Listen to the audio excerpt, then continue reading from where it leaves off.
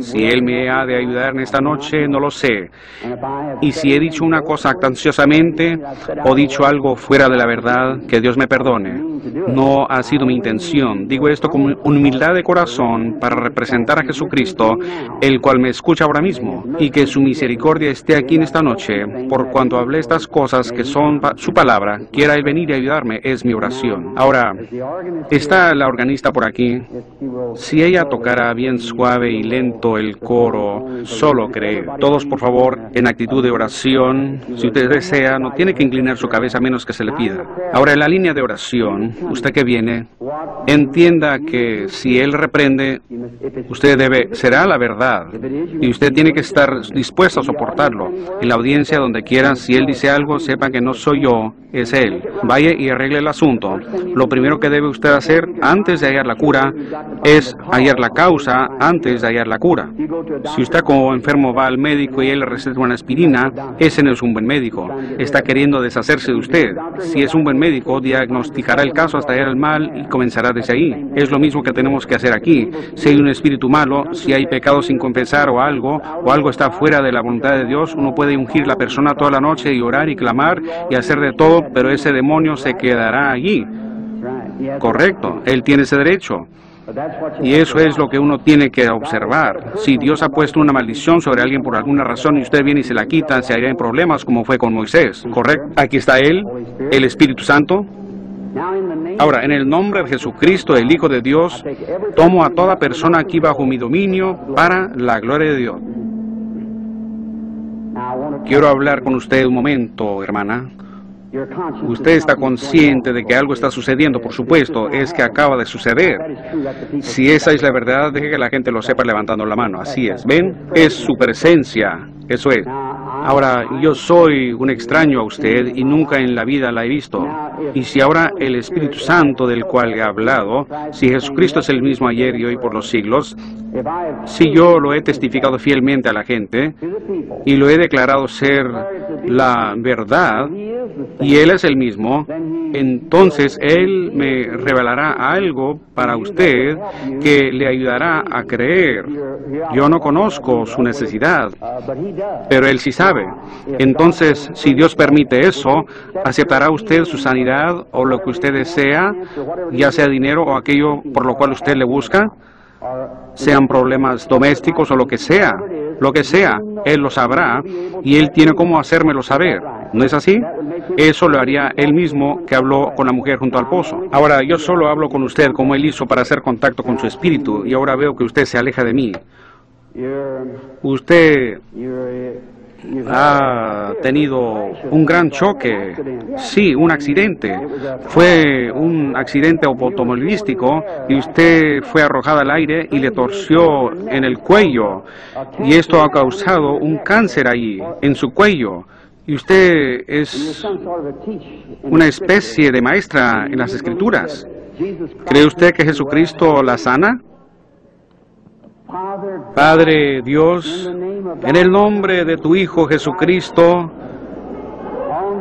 sobre la autoridad de la palabra de Dios por esta mujer moribunda, ordeno a esta cosa mala que la deje. Satanás, tú has sido expuesto.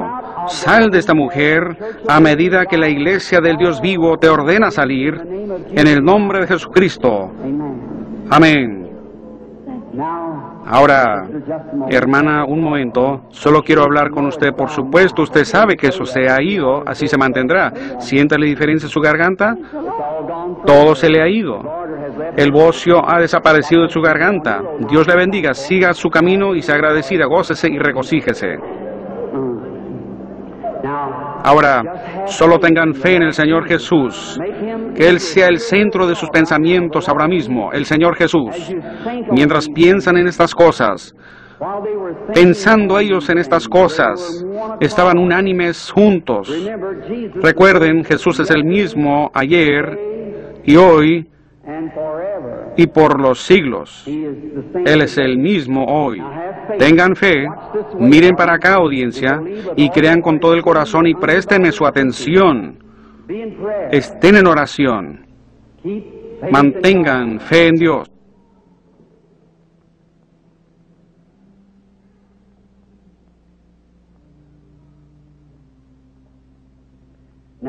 Ahora, creo que esta es la dama, ¿es esta la paciente? Bien, acérquese más, hermana. Por supuesto, eso no le dañará, esa es solo su presencia y de eso usted está consciente. Y para ustedes en la audiencia, yo soy, yo soy su hermano. Y esto no es psicología, sentí eso viniendo de la audiencia, no es eso. Es Dios Todopoderoso. ¿Ven? No es psicología, no es. No hagan eso. Piensen que es el Señor Jesús. ¿Ven? Unánimes. Ahora, hermana, deseo hablar con usted por un momento. Somos extraños, me supongo. Pero Jesucristo nos conoce a los dos. Y este es nuestro primer encuentro en la tierra. Pero Él la conoce a usted y la ha alimentado toda la vida y Él me conoce a mí. Y si yo, como su hermano, y por su gracia, por un don divino, del cual nada tuve que ver con su otorgamiento, yo nací un bebé y lo primero que recuerdo es una visión. Ahora, Quiero que mire para acá por un momento. Por supuesto, usted está enferma. Y está sufriendo de una condición que es un espíritu tenebroso a su alrededor, es la muerte. Y está en forma de cáncer. Y el cáncer está localizado en el seno y la veo examinada por uno muy fuerte. Y usted tiene una hernia y la hernia está en los intestinos. Y usted está enferma del estómago también. También está enferma del corazón y le causa desmayos. Hace pocos días estaba sentada en la orilla de su cama y casi se desmayó mirando hacia la ventana.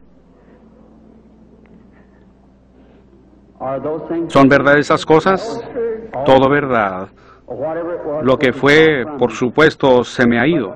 Pero, ¿qué cree usted que fue aquello que conoce su vida? ¿Será Jesucristo? ¿Lo acepta usted así?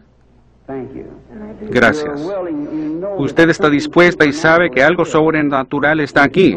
Y si usted cree que es el Señor Jesús, como yo lo he predicado de la palabra, usted cree que es el Señor Jesús.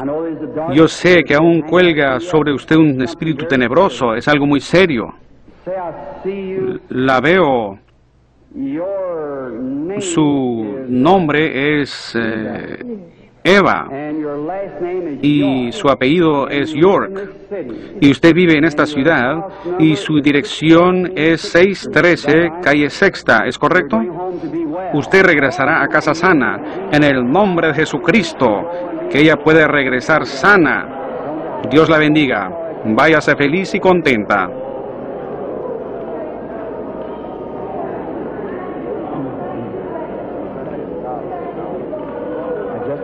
Solo tengan fe, no duden. La escritura ha dicho, anda y no peques más, porque no te venga alguna cosa peor. Pecado es incredulidad. Pecado no es beber, fumar, jugar. Esos son los atributos del pecado. Usted hace eso porque usted no cree. Jesús dijo, anda y no peques más o ya no descreas porque no te venga algo peor. Tengan fe en Dios. Créanle de todo corazón.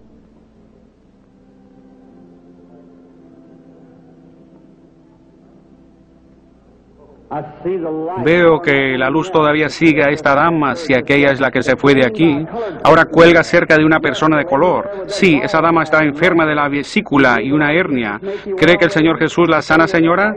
Usted sentada ahí con esa cosa blanca en el cuello, si usted lo cree de todo corazón, puede levantarse y reclamar su sanidad y será hecha sana en el nombre del Señor Jesús. Dios la bendiga. Tengan fe en Dios. ¿Ustedes creen?